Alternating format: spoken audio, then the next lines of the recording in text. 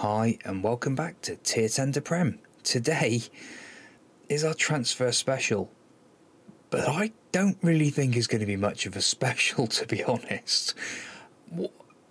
The transfer budget at the end of the season was like £50,000. I think the budget is just going to be nothing. I really am shocked that we're going to buy.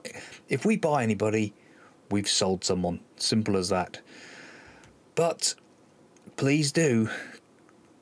Let's get on board and see what's going on because it's going to be an interesting one. We need some more players, that is for sure.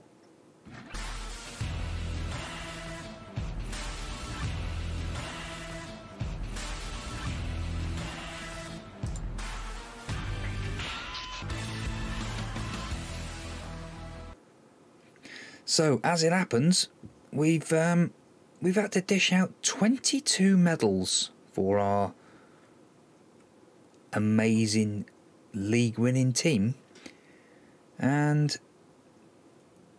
right at the top there, look, Sir Matthew Roberts. Yeah, so uh, lots of medals. 22 players who actually managed to get at least five games or more. Uh, it's just, I, I, I'm still, I'm, I'm pinching myself. I'm still buzzing. I just can't believe what's happened. But we've done it. We are Premier League winners, so that is great news. Bonuses, breaks, and all that sort of thing coming up. Schedules, record high, 84 points. I think we're going to have to do more than that next year. Iestyn Powell has made it into the Dream 11.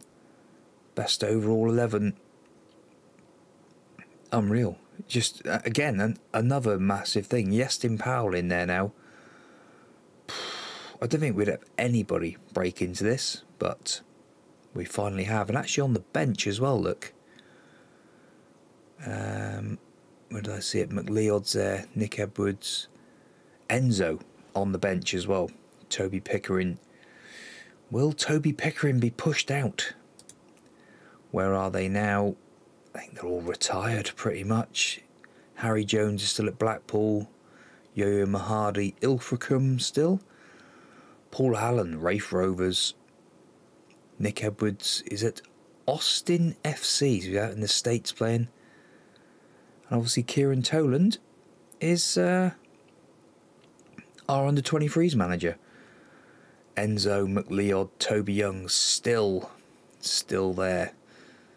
So from the best 11, that's pretty good, really. That is pretty good. And now for our season review. Right. New arrivals. Yes. And I thought it might be Julian Fink. Julian Fink. Finky? I, am not going to change it now. A 7.44, 12 assists, 40 goals in 47 starts. Unbelievable. Unbelievable. A B. Happy with those stats coming back from him. Uh, Adrian Rodriguez, a C. A 7.18. A C? Come on board. Timotei. Here we go. C. 30. So Fink 69 million pound. Rodriguez 12.5. Timotei 13.25. All above a 7. C. Box Hill. Did he actually play one game off the bench? A B plus. Iestyn Powell he's been with us forever. 50 games, 15 assists, 5 goals, a 7.04. That must be his best season, I should think. It is. Well, actually, it says a 7 there, but we'll. Uh, two years on the trot. Sort of happy with that. Right. Horton Gore, what's he going to be? A D? A C plus for Horton Gore. 80 million pounds. Marcel Marcelo Leighton, ready? I tell you what, our board, I it's ridiculous. Janota only had 7.4 7 uh, 6.74 A plus. oh, bored. Bored, you are just having a blooming laugh. Transfers out. Who was the best one? Williams? Surely Luca. A C plus.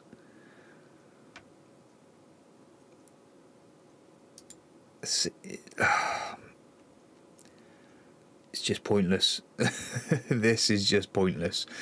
The board, A plus. Absolutely delighted with winning the Premier League. Top half finish. We finished first. Julian Fink, 33 goals in the league. A B plus for the semi-final loss to Liverpool. Uh, C plus again. Well, you know, FA Cup and a, a C. They won't be judging us on that. Moments to remember. Wonder what it could be. Biggest win 5 0 victory.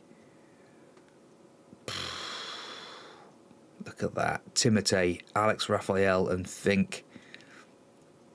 Match to remember. Benfica in the Champions League. Gibson and Irwin. Irwin, somebody we might have to move on this season, I would say. We will see. And that man again, Julian Fink, with goal of the season. Let's go and have a look, shall we? Right. Here she loads up. Horton Gore, Fink in his own half. Just tearing at them. Oh. yeah. What a strike that was. Right, finances. Finances. So we are worldwide club now. No new sponsorship deals. Really? Revenue more than doubled from last season. Broadcast down a little bit. Corporate more than doubled. My word. Prize money up quite a bit as well. Commercial nearly doubled. £10.7 million on merchandise. Fink. Wow. Look at this. Over half a million shirts sold. Fink Horton Gore, Alex Raphael, Gibson, and Timotei. Crazy. Crazy times. How we lined up. Now, that's how they wanted us to line up. It was always Fink and Gibson the other way round. But can't have everything. Sainsbury, Monteith, Edwards, Horton Gore, Rodriguez, yeah, Timotei, Powell. We'll go with that. The accolades.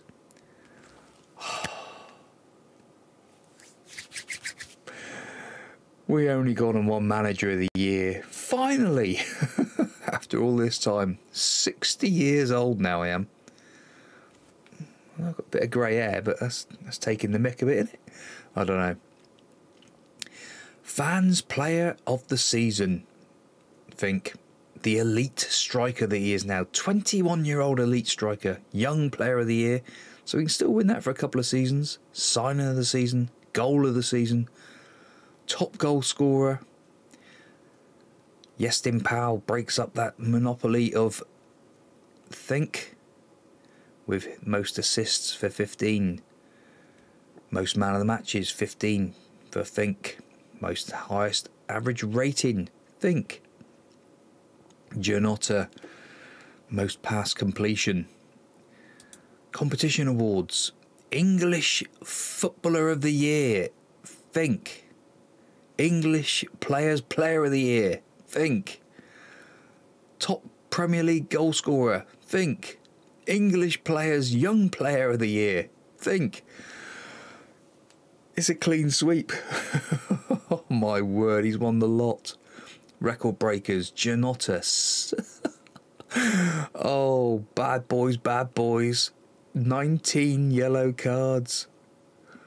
Iestyn Powell, 105 million. Luca, 60 million pound received. History in the making. The hard work has paid off. Unbelievable. Unbelievable. I think this season, yeah, we'll go off to Spain, I think. Have a nice bit of a break. Now, it does say up there, actually, let's just confirm that a second.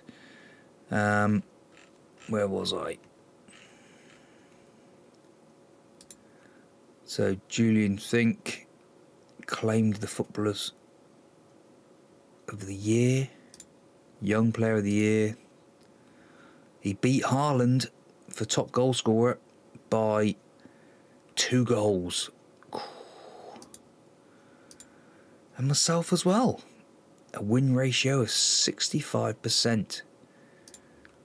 And in the team of the year, Montes, Alex Raphael, Fink, Gibson, and Timotei. So they've got Gibson down as a midfielder, which is very interesting. Um, oh, thank you, Marcus Cassidy, praising myself for the uh, Manager of the Year award. Now, I was saying we need the budgets in. We've got £60,000 at the moment. So we seriously need something to happen there. And hopefully, we'll find out pretty soon. Let's go and do some transfers. Or let's go sell some players, should I say. Well, it's just literally just clicked on three hours. And the board have announced plans to enlarge the stadium by another 2,000 seats. Estimated cost of £3.9 million. Work will be completed in three months puts the capacity up to 26,664. Excellent. And also, our youth rating. Our youth rating has gone up from a category 2 to a category 1. This year's youth intake should be the biggest one we've ever, ever had it's going to take 49.7 uh, 48.78 million pounds to run each year. Wow. And here we are on the 3rd of June now, and we've just got the European Champions. Is it? It's not just Champions League. I suppose it is Champions League uh, best goal, and it's Julian Fink. And I wonder, is this the same goal that we had uh, in the Champions League? Armchair expert, look. So this is a goal for Liverpool. Speed this up a little bit. Mm. Yeah, you can see why that was third. and now it's the Borussia Dortmund lad. Was it the the ball comes over?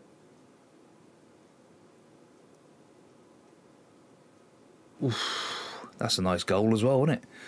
It's not bad. Right, and now for Fink's goal against Borussia Dortmund. Is this the one he picks up in his own half? It is. It is. We've seen it once already, but it's worth seeing again. Ho, ho, ho, ho. What a goal. Julian Fink. So here we are on the 9th of June, and we've got two signings in. Simon, Simon, I know it's going to be Simon, but we're going to call him Simon, It's easier. And obviously, Toby Youngs has come in permanently for £15 million. A minus. Very pleased to get him on a permanent basis. And obviously Simon that we Simon that we've seen already. Just awesome. I really cannot wait to get this lad down the right wing. I think probably complete wing back on support, I would say. probably have him even up on each side, then this one really is going to be a big, big player for us. And he's on international duty currently. And Cordin has gone out to West Brom for £15 million. And McLeod, another one, £15 million. So starting to slowly get some people off the way, off the wage bill and all that sort of thing. But what we need to do is get rid of some of these fringe players. We've got so many of them. You know, there's, quite a few there that really need to see if we can shift on. Eltinho, maybe. I know he's captain. Even Sir Matthew Roberts. He's still unhappy. We might have to try and move him on. And I really, really do want to get a central defender. We need to upgrade on on Edwards. He's now down as a a two and a half star player. Forty-three million pounds. If we can get someone to bite for that, I'll more than happily move him on. So we've got our first signing of the season, Johnny Beattie. He comes in from Manchester United for three million pounds. A 16-year-old left winger. Now, they hadn't tied him up to a contract. I say three million pounds. It was uh, three million pounds on the compensation deal, but we're more than happy with that. Three million quid. Plenty of potential. Only a one and a half star current ability, five star potential player. So nine stone four, five foot seven. He definitely needs to bulk up a little bit, but he's definitely somebody we want to use for the future. Well, I did say it was going to be a quiet summer, but I wasn't quite expecting this. We've had a lot of people go out. Chris Sainsbury, Dino Saliovic. So Sainsbury, £46 million. Saliovic, £24.5 million. Cheraka has gone out on loan to Heidrich. Justin Wally gone out to Wigan. Bit of team building for the lad. 17 years old. He's gone out on loan to Wigan. Sir Matthew Roberts has gone on loan to Hull City. He was so, so fussy and moaning. In the end, I said, You can go. You can go. Luca Coleman has gone out on loan to Toronto. Oliveira, the midfield one, has gone on loan to Villarreal.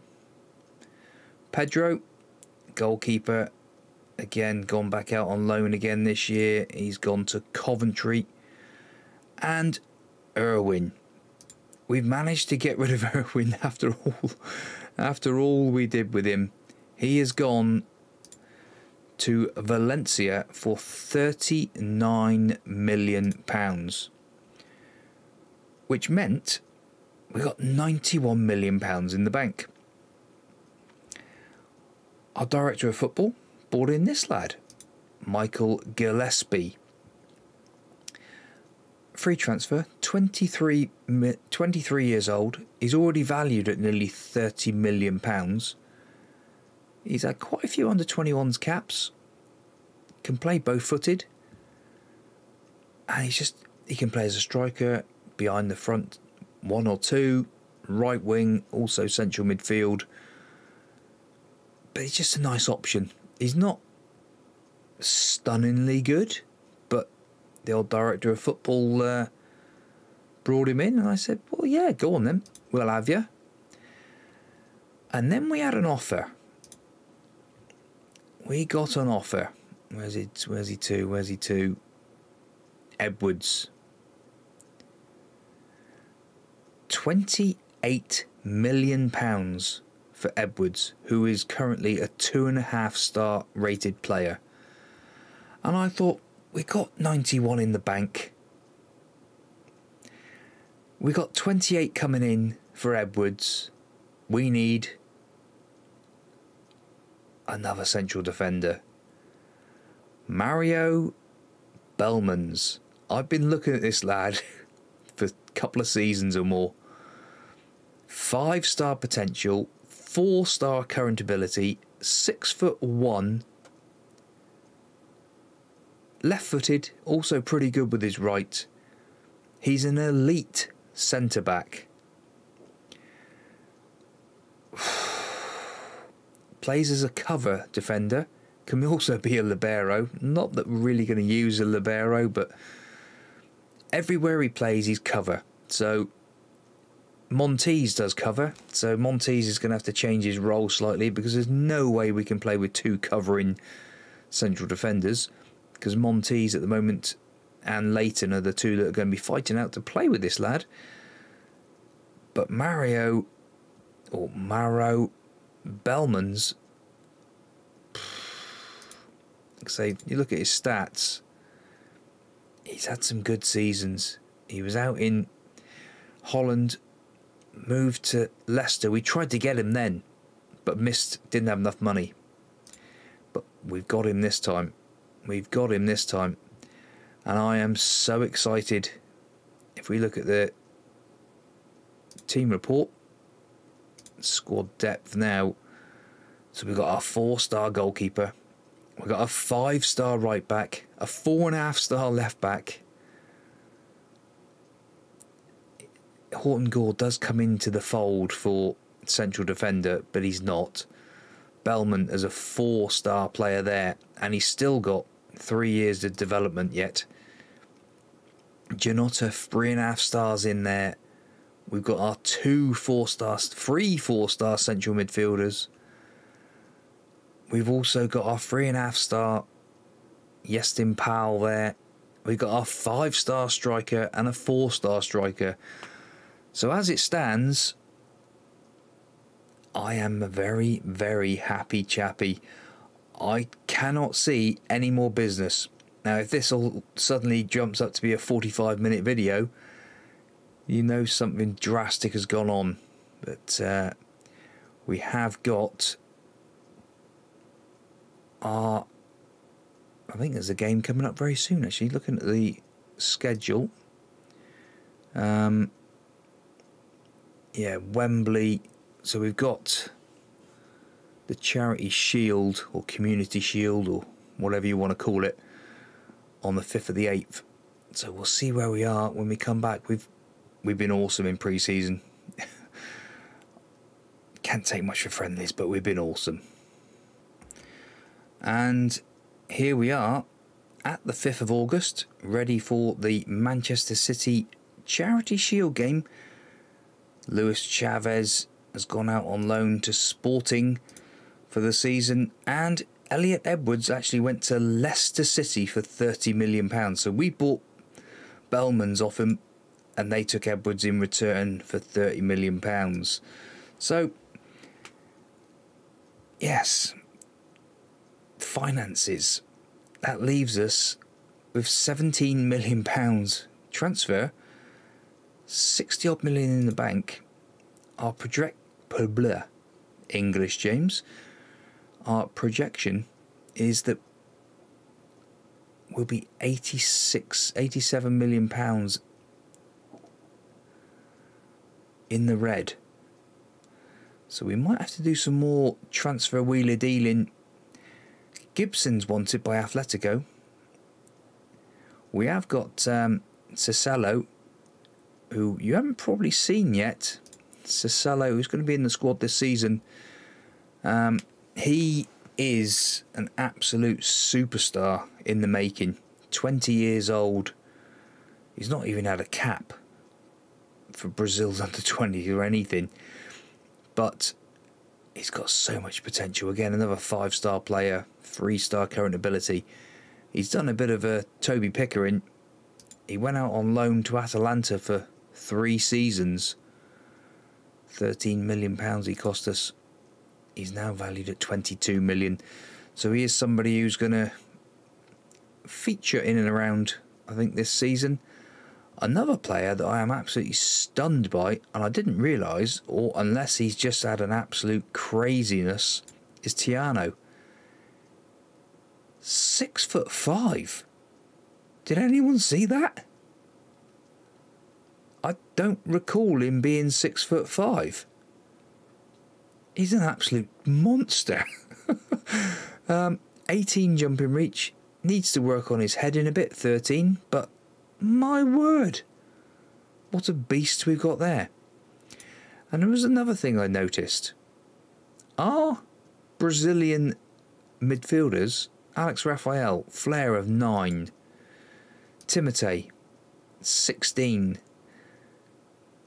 obviously Altinho, 13, Cecilio is 16, Tiano, I think it's like 9, no, 10.